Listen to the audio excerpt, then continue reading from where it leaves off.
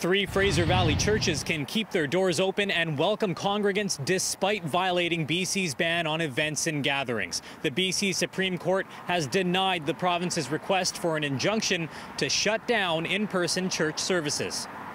Last Sunday, Langley's Riverside Calvary Chapel looked to the heavens for a favorable court decision. So we pray that for Chief Justice Hinkson, that you would move in his heart as he waits and, and, and processes all this information and as he comes with his decision on Wednesday. We pray that you would just give favor, Lord, and, and you'd help him to lead in an appropriate way.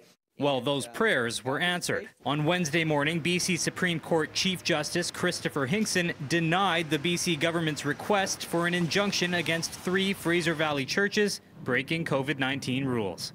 Riverside Calvary Chapel, Emmanuel Covenant Reformed Church in Abbotsford, and Free Reformed Church in Chilliwack are holding in person services despite BC's current ban on events and gatherings. In his ruling, Justice Hinkson says he does not condone the churches flouting public health orders and possibly spreading COVID, but he has to consider the rights of churchgoers, saying granting an injunction may deprive the petitioners of constitutional rights, amounting to irreparable harm to them. The ruling comes as these same churches prepare to take BC to court next month to try overturning the ban on church gatherings. Their lawyer compares churches to restaurants, saying if people can dine in, congregants should be allowed to sit in on sermons. It is essential for them to sit in a house of worship for a period of time for worship, to hear a religious message, socially distanced, contact traced, all of those things.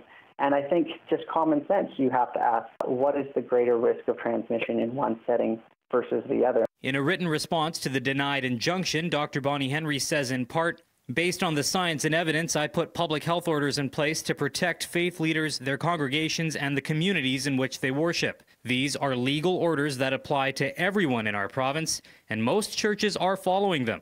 I thank each of them. Dr. Henry says the province does not want to arrest churchgoers, it just wants to prevent them from gathering. In his ruling, Justice Hinkson questioned what the point of an injunction would be if violators wouldn't be prosecuted. In Vancouver, Travis Prasad, City News.